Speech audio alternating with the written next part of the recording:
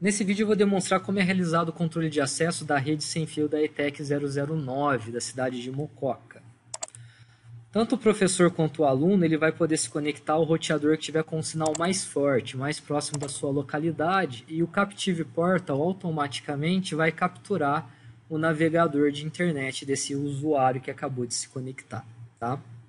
Professores têm seus usuários né, já cadastrados, que foram importados do SIGA RH é, o padrão vai ser o primeiro nome do professor, ponto, o último nome do professor, e a senha vai ser o número de CPF sem formatação. Os alunos, eles compram um acesso, eles compram pacotes de dados para usar na escola, né? Nos laboratórios de informática, o acesso é liberado para os equipamentos dos laboratórios, mas se ele quiser usar a rede no campus, né, ele faz a compra do acesso na gráfica ou na cantina. Todo o dinheiro arrecadado vai direto para a PM, que consegue usar esse dinheiro para reparar equipamentos danificados, compra de novos equipamentos dos laboratórios de informática ou de eletrônica. O aluno que quiser conhecer os planos, ele consegue pelo próprio dispositivo. É só ele clicar em Saiba Mais e ele tem uma lista de planos cadastrados com todas as suas características, todos os seus atributos, né? preço, quantidade de dispositivos simultâneos que ele vai aceitar né, o acesso, se possui ou não um limite de tráfego, velocidade máxima aí, né, do, do traffic shape e a quantidade de dias para fazer a, a expiração da conta a partir da data da compra. Né? Tudo isso explicado aqui né, nos atributos na página de Saiba Mais. Tá?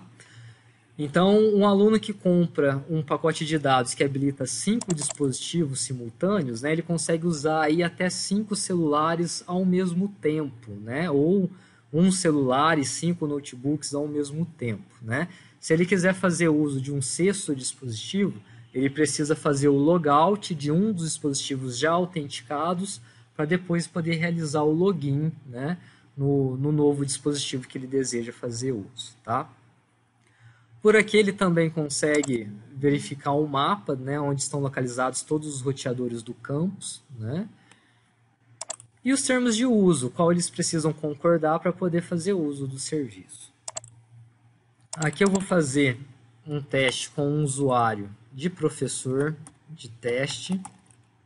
Vou digitar a senha errada aqui.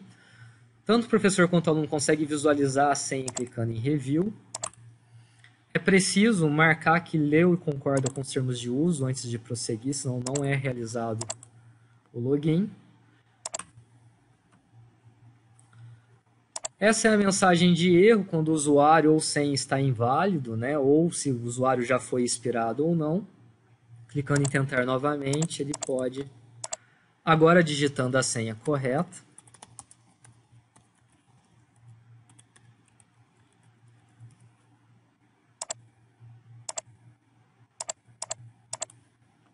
o acesso foi liberado, tá? Assim que o acesso é liberado, ele carrega essa página de relatório de acesso que é recomendável tanto para os professores quanto alunos salvarem esse endereço no favoritos do navegador de internet, para que eles possam consultar essas informações sempre que quiserem, né? E também realizar o logout, caso ele queira fazer uso da internet em outro dispositivo, né, que não esteja autorizado, que extrapole o limite de dispositivos simultâneos, tá? Então nessa página vai ser exibido um sumário com informações gerais, né, no caso de, de pacote de dados comprados, né, aparece o nome do comprador do pacote, o usuário que libera o acesso, no caso também da compra de pacote aparece o plano de dados aqui, a data né, para essa conta ser expirada, a duração total, que seria a somatória de tempo de uso de todas as sessões, de todos os dispositivos né, que foram utilizados nessa, nessa conta até hoje, isso em dias, horas, minutos e segundos, e o tráfego total, que também seria a somatória aí de todas as sessões, de todos os dispositivos usados até então. Tá? Embaixo tem um detalhamento dos últimos 50 acessos, né? Que vai trazer aí os últimos 50 acessos para esse usuário, mostrando o IP, o endereço MAC, o último acesso, a duração individual da sessão e o envio e a recepção de dados individual da sessão. Né? Aqui seriam os totalizadores, enquanto que aqui você tem individual por sessão. Tá? Se o aluno ou professor desejar fazer o logout né, para poder é, usar isso em outro celular, ou tablet, ou notebook, né, ele pode simplesmente clicar no botão e vai ser realizada a desautenticação do mesmo dispositivo, né, para que ele possa autenticar em outro. Tá? É isso daí, espero que vocês tenham gostado. No próximo vídeo eu vou demonstrar como que funciona a nossa retaguarda aí, para poder gerenciar o sistema.